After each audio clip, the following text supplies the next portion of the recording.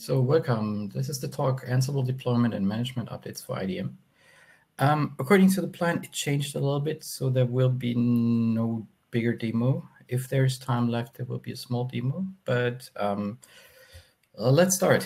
So um, the agenda you see there, there are several things. So a small, small overview over Ansible Free IPA. Um, and afterwards the changes. So for the roles, for management modules, new roles and new management modules, and also utilities in the end. So um, here you have a overview of over Ansible Free IPA the, in the current state. So all the um, bold mark things are um, the new stuff that has been added since last DevConf. So um, we have an additional role. This is the IPA backup role for backup and restore. And for management modules, according uh, additionally to the other ones. So last time we added HBAC and also DNS stuff. And now we have um, several modules, RBAC, RBAC modules, and also IP location IP trust. I will show some um, examples about this later in the demo, uh, in, in this presentation, I'm sorry. So the availability and distribution ver and versions, this has not changed. Um, so we still have um, RPMs, we have a collection in Galaxy, and we have several di supported distributions. Um, in Debian 10, I think um, server is now possible, but I'm not sure, so this needs to be verified. Um, and for all management modules, we have a minimum requirement of IPA 4.4.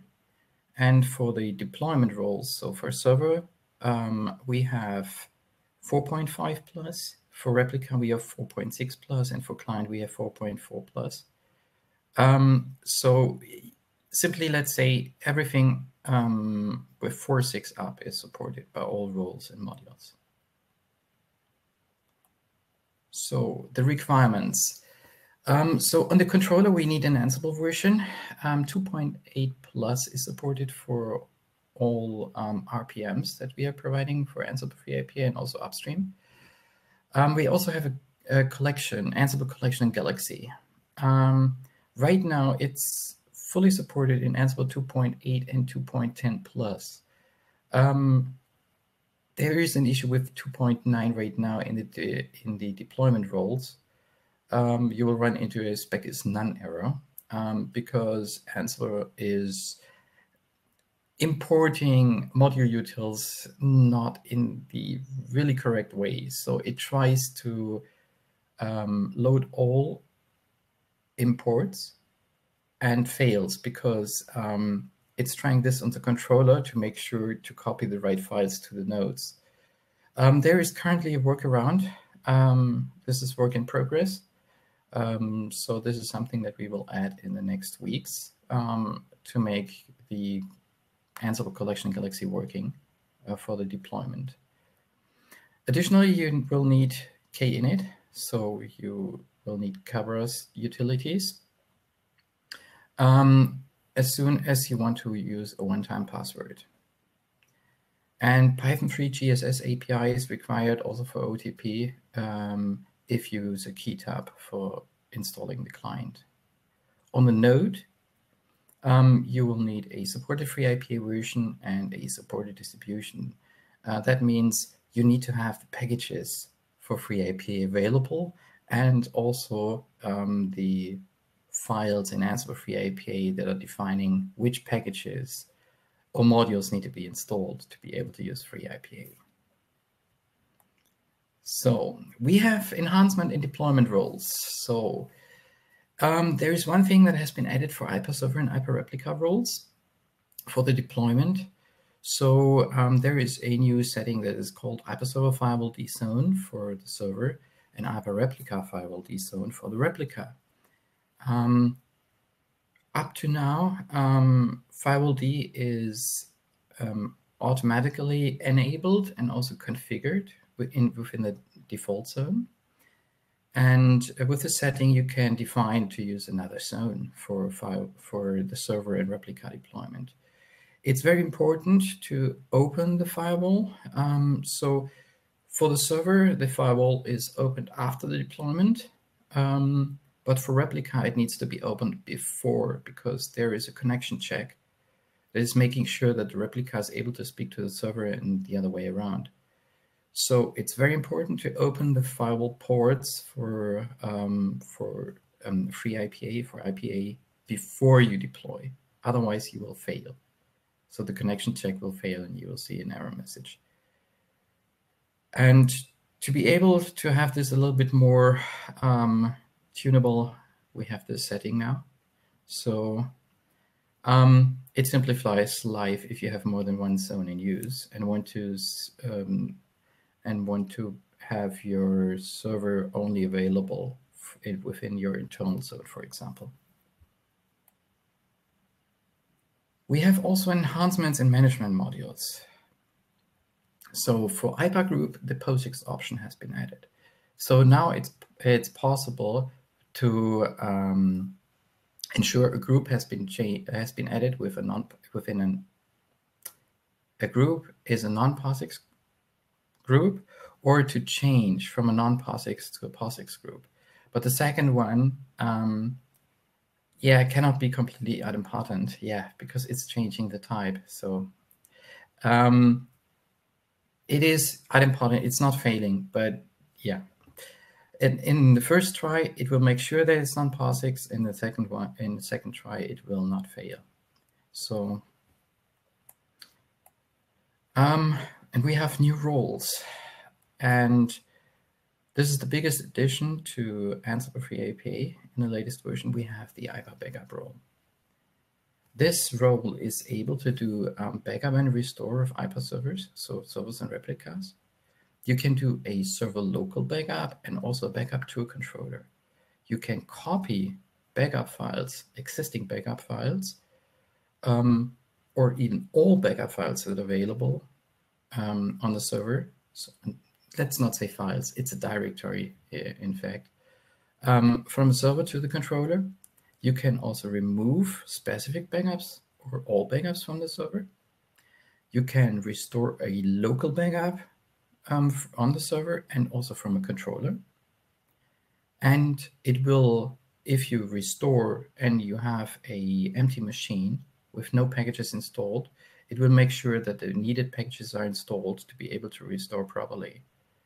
Um, and it will fail if the packages cannot be found. So uh, it's needed to have the packages in the repository or yum configured or DNF or whatever you use to um, install packages on your system. It can copy backups from the controller to the server and it will configure firewall D accordingly. And there is also a setting to turn firewalld configuration off the same as we have in IPA server and IPA replica role. And here we have an example of IPA backup role uh, usage. You see it's using IPA server and it's uh, doing a backup to the controller. So IPA backup to controller is yes. This defaults to no, which means there will be a local backup on the server itself. Um, there is another setting um, to make sure uh, to define if um, if IPA backup to controller is set to yes, to keep um, the backup on the server. This defaults to no. So as soon as you say I'm a backup to controller yes, um, the backup will be will be transferred to the controller and removed from the server afterwards. Um, so IPA backup keep on server um, can be set to yes to keep it also on the controller uh, on the server itself after copying to the controller. Here we have another example um, to restore an IPA server from controller. So you see IPA backup name is set to, um, to the backup name. By the way, if you do a backup within here, um, it automatically renames your backup um, so you will have the server name as a prefix to make sure that you can um, have several backups at the same time. So let's say you have a server and several replicas, and you're creating backups of all of those, um, then um, you're not running into name issues because the server name and replica name will be the prefix of the backup of the backup directory that is created on the controller. So in here we are copying, uh, we are restoring from the controller. That means in the first place, this um, backup is copied back to the server from the controller. And then this backup is applied. And you see you need to give um, this also the, DM password. Um, but this is the also the case with the command line tools. So this role is more or less a big wrapper around the command line tools um, to allow to, to use the controller also. And it has the same requirements as usual. And you see the state is restored. This means this will be restored. Um, if you um, instead use state copied, it will only copy this backup to the uh, from the controller to the server, but then you don't need the password. There's another example here, for example. Um, so here we are copying a backup from the IPA server, several backups from the IPA server. Um, you see the IPA backup names. These are the names on the control uh, on the server without the prefix. And IPA backup to controller is set to yes, and state is copied. So it will make uh, it will copy those um, from the server to the controller. By the way, it will fail if you provide names that are not existing. And the second one on the right um, is to remove all backups from the IPA server. If IPA backup name here is not all, um, but the same as on the left side, it will only remove those. But if it's all, it will remove all available backups on the, on the server. And the state here is absent. So IPA backup is a fairly um, powerful role. Um, and I think you will have fun with it. And here's um, another example. We are copying a backup from the controller to the IPA server. And you see here, IPA backup name is the full name on the controller. Um, it might be possible to change this in the future that um, it's using the IPA server name, looking for the IPA backup name with a short word, with, with the normal um, name on, on the server and to automatically prepend the, the name of the server. But this is not there, but it might be um, added in the future. It should be simple to do. So we have new management modules also in Ansible Free IPA. So here you see a list. So there is IPA location and IPA trust. IPA location has been added only as a test for um, a utility that I will show later on. IPA trust was an external contribution um, to manage domain trusts. And we have role-based access control, so RBAC modules. So IPA delegation to manage delegation and delegation attributes. IPA permission to manage permissions and permission attribute members. IPA privilege to manage privileges and privilege permission members. And IPA role to manage roles and members. These are users, groups, hosts, host groups, privileges, and services. I will show examples about this later on. And we have IPA self-service um, to manage self-service and self-service attributes. So here we see a simple example of IPA location. IPA location is a fairly small module. It cannot do really a lot. So it simply makes sure that a location with the name my location one and the description my location one exists. It cannot do a lot more. It can also remove locations, but the the only um, the only thing it can do is adding and um, making sure that locations are present or absent. So we are coming to trust, IPA trust module. Um, so the first example is making sure that a one-way trust is present. And um, yeah, I cannot even show an example for this if I want to, because I do not currently have a Windows machine um, that I can use as AD trust for this. Um, and the second one is making sure that a two-way trust is existing. So you see there's the additional two-way um, setting set to true. Mm, it should be yes, not true.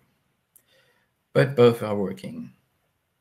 And so we are coming to the RBAC modules. So there is the IPA delegation module. Um, so in the first example, you see it's ensuring that a delegation is present with the attributes business category and employee type, and group managers and member group employees. And the second example shows that you can add attribute or make sure that attributes are present or absent with the action member. So um, here in this uh, in this example, you see it's making this task is making sure that employee type and em employee number are absent for this um, delegation with the name basic manager attributes. You can also use present to make sure that attributes are present. Um, and also you can remove delegation modules and you can or make sure that they're not existing.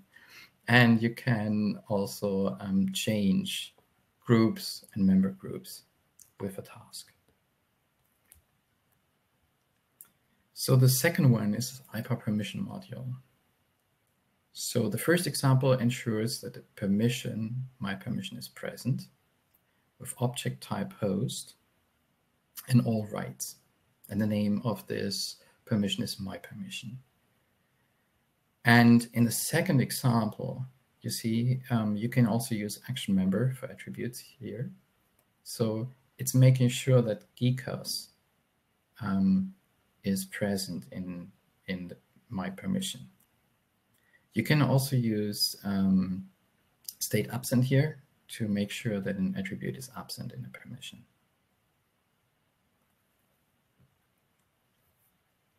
So we are coming to IPA privilege module. So the first example shows um, how to make sure that a privilege is present. So it creates a um, privilege broad privilege with the description, with the same as description. Um, in the second part, you see you can also use action member here to add permissions. So this example makes sure that write IPA configuration, system write DNS configuration, and system update DNS ent entries is present for this permission.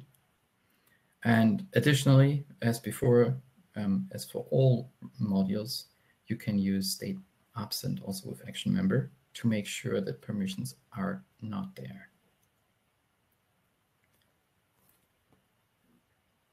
And we are coming to IPA role module.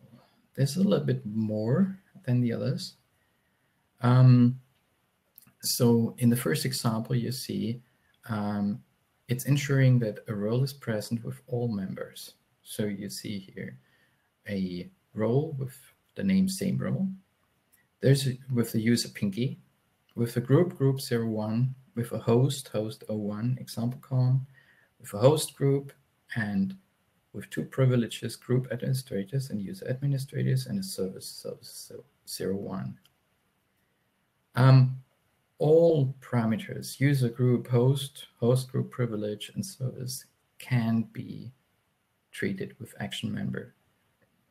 That means you are um, you can ensure that a user group, host, host group privilege, or service is present within a role or absent. So you see two examples for this on the right side. So the first example, make sure that the user pinky exists in this role. And in the second one, you see that the service server 01 um, exists. Make sure that the service server one exists in, in this role. You can also use state absent here to make sure that um, users groups, host, host group privileges or services are absent within a row.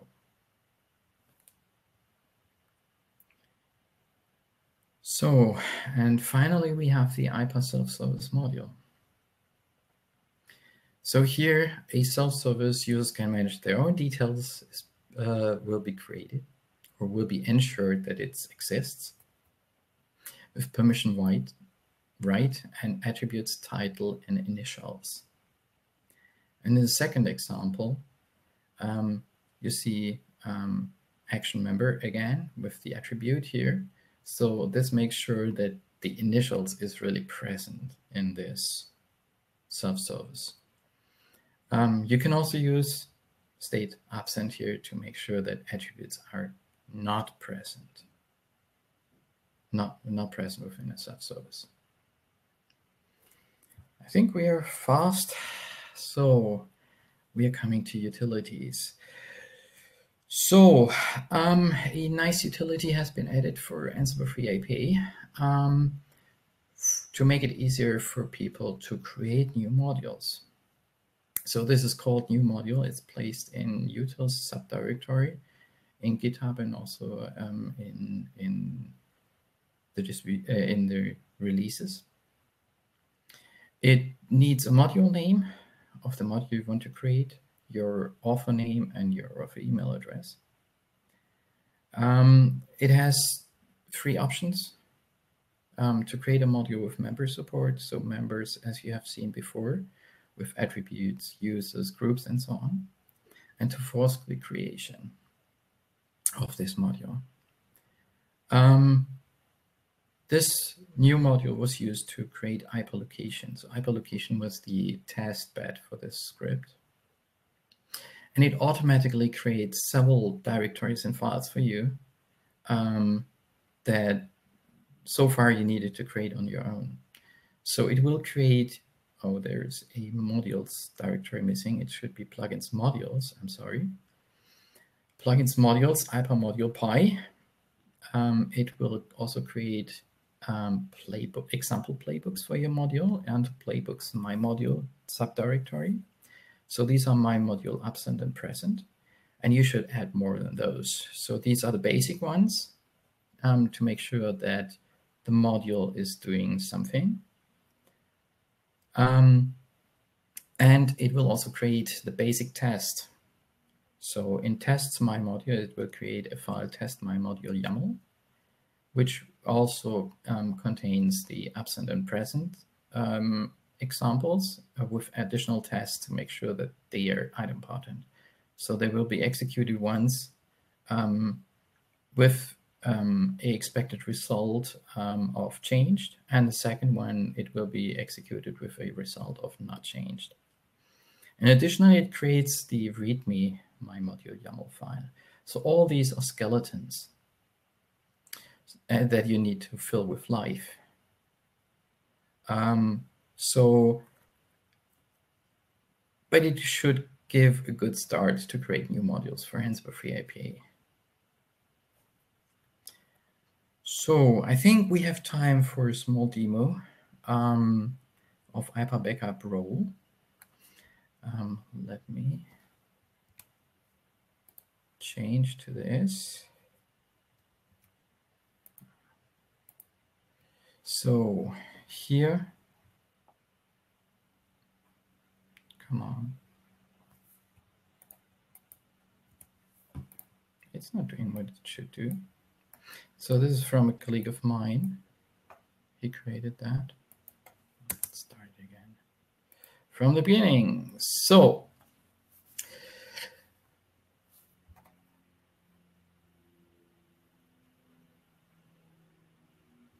So on the left side, you see the controller. On the right side, you see he's logging into um, the server. a little bit. He is making he's. Can you zoom it up? It's Pardon? not legible on the recording, I think. If you can't, just... yeah, perfect. Thank you. Yeah, awesome. Is it better now? Okay. Should I start it from the beginning? I think you can. You have five minutes easily. Okay. Ah, okay now. So on the left side, you see the controller. On the right side, you see this. Um, he's logging into the server. He's checking the IPA version. So this is a Fedora 32, so it's 4.8.10. And you also see it's Fedora release 32. He's looking into the valid um, backup directory, and it's empty right now. On the left side, you see um, um, the backup YAML file. So a backup to the controller, keep on the server is no. This is the default. IPA backup data. So you can limit also if it's a full backup or not a full backup. And in this case, he's only doing the data backup.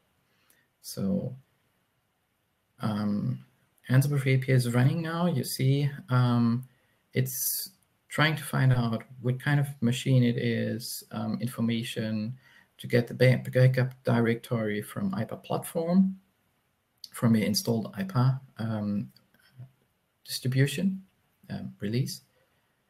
So that was a little bit fast. um, at first, it was copying the backup from the server. You see in, in, on top still, and it removed the backup from the server. And on the right side, you see there is no backup. And still IPA is working. He is removing sudo command, um, a sudo command um, to show that if he is replying the backup, it will be back. So right now you see he's replacing the backup name in, in the restore YAML file.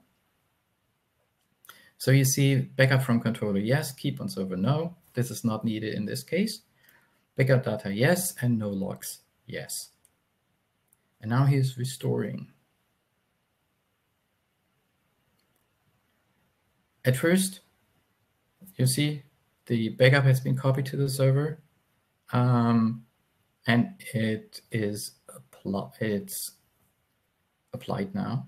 This normally takes some time, so it's better to have it in a demo. And it was also ensuring that the firewall is running and the firewall is configured properly.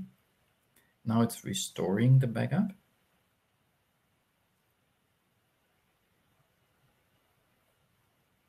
And it's done.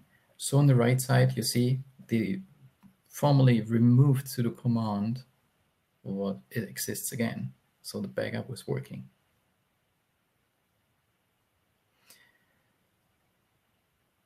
So um, for all the roles and the modules, we have the whole documentation on um, Ansible Free IPA GitHub source repository. Um, you can start directly there. There is the whole documentation of all parameters. There are lots of examples. Um, if you look into the test subfolder, you will see all the tests that we are running upstream to do the tests. So these are idempotency tests. If you have an issue, um, please go to issues on this GitHub repository. And if you want to contact us on IRC, there's a free IPA channel on Freenode. This can uh, this is also used for Ansible Free IPA, not only for Free IPA. So, do you have questions? Okay. So we have one question in the chat uh, QA section. Um, is IPA admin password clear text password for admin? Um, no, you don't need to have it clear. Um, this is only here in the example so that you see it. You can use Ansible Vault for this but you can also use GSS API for that. There is an example for the GSS API usage in, in the documentation in Ansible Free IPA upstream, and also one for Vault usage with deployment um, in the client and replica role, as far as I remember. It's only here to make sure, yeah, you need to, to provide this setting somehow but it's up to you how. Yes. Uh, so the attendee, I think, missed some initial slides. Uh, which IPA version these modules are compatible with uh, from the initial one? So we are making sure, as written here, that all management modules are working with IPA 4.4 plus. This is RHEL 7, early RHEL 7, um, yeah, early RHEL 7. So RHEL 7 is now at 4, 4 I think, um, in yes. the latest versions there. In RHEL 8, we have 4 8. So, um, and also in Fedora, we have 4 8 now. So, uh, 4 9, I'm sorry. Um,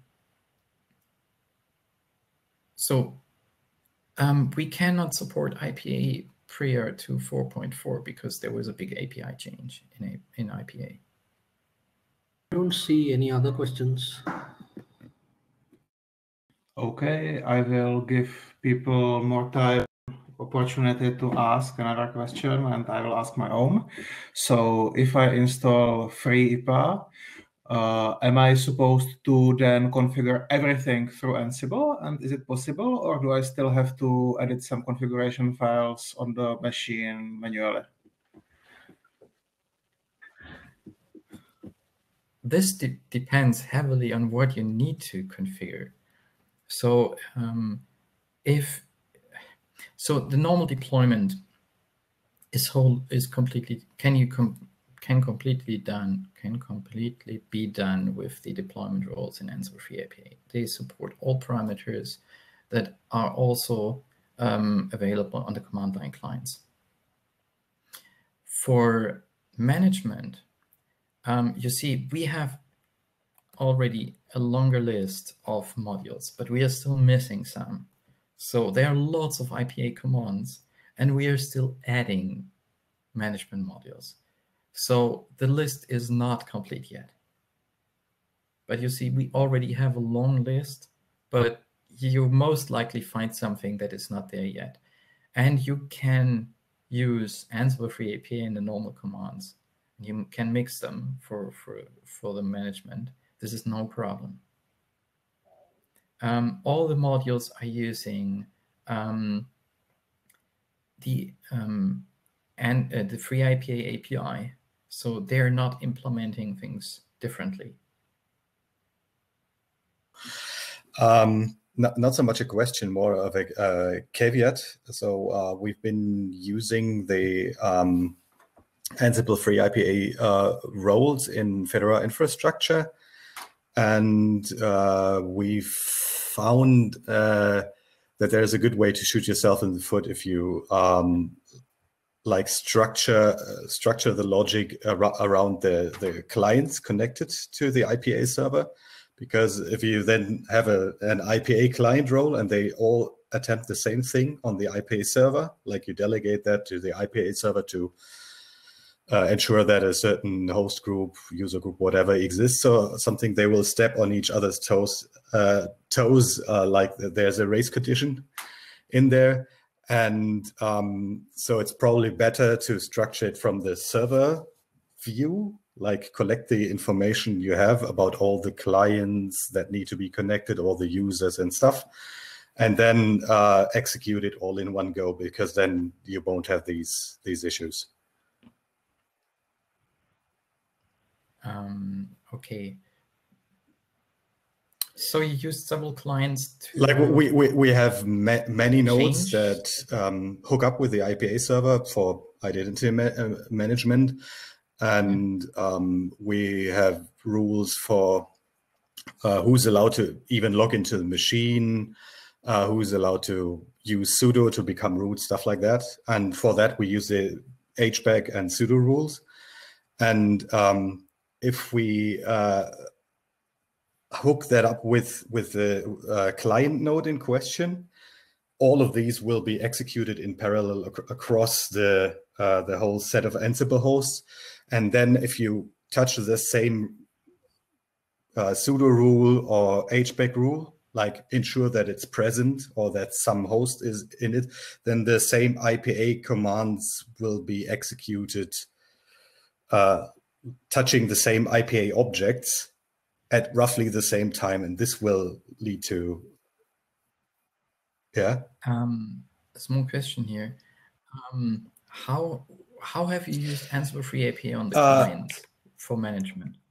So you use management modules like it's um, we we have a role IPA slash client that just says okay this host is uh, a client host to the IPA server. Identity man management is done by the by the IPA server. Um, then when we have uh, cl cluster-wide rules like uh, this group is like this sysadmin group is allowed to do anything anywhere, stuff like that.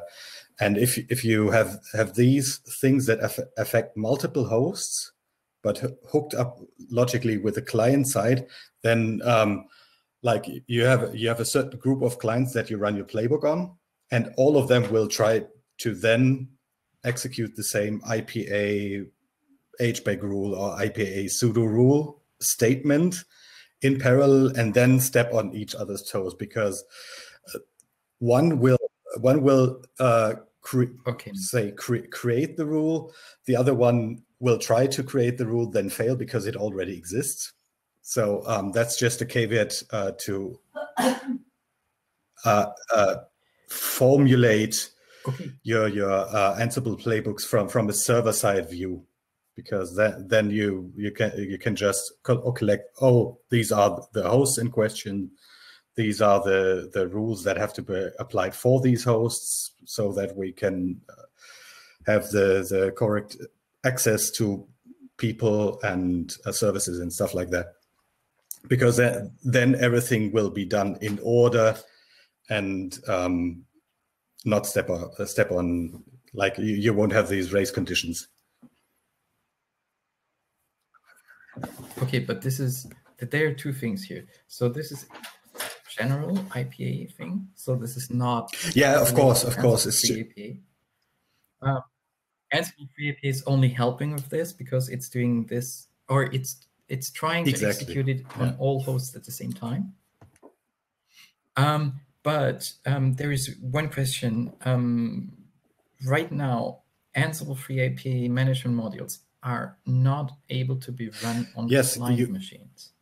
But they they run in the context of the client machine, like the Ansible Ansible yeah uh, Ansible playbook. No. Um, the the, uh, the, the command execute has, has a couple of hosts in in the play at that point, and it will want to uh, execute the task on behalf of these hosts all at the same time. So we, at first we uh, yeah. we we helped ourselves with just um, throttling this to one, which works but is super slow, and then we then we had to restructure it so sure. that there is that that we had a decent performance, but because we're talking about somewhat up of 200 hosts, which could be if you do a main playbook run or something.